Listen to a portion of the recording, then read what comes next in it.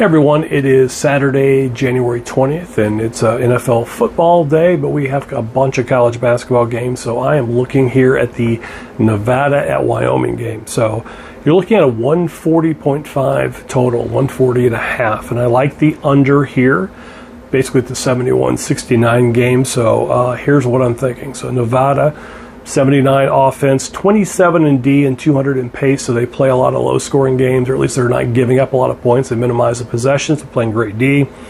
Wyoming is sub 200 in all offense, defense, and pace. So uh, the offensive pace is great, is uh, certainly great for the under. Uh, 225 uh, uh, defense is not necessarily great for the under, but I started popping the uh, KenPom numbers, it it intrigued me. So I started looking at what they've done throughout the season and particularly lately.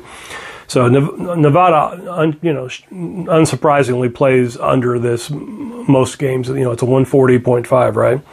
Um, and uh, recently, uh, as they're you know, they stepped up in the competition, play some tougher games, particularly in con- in conference uh, they're not scoring as many points. As a matter of fact, they're actually nine and three under this total of the last 12 games.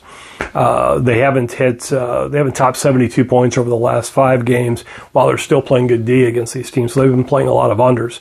Um, and the, La- the Wyoming's actually scored a decent amount this year, but most of that was early.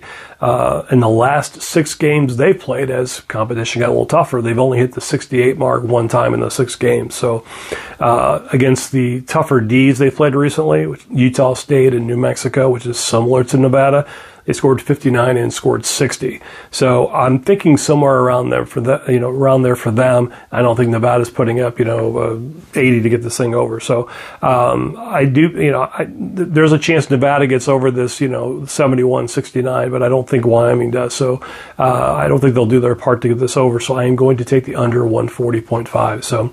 Um, if you don't mind hitting the, the like button just to let me know you kind of got to the end of the uh, video. And if you feel like subscribing, feel free.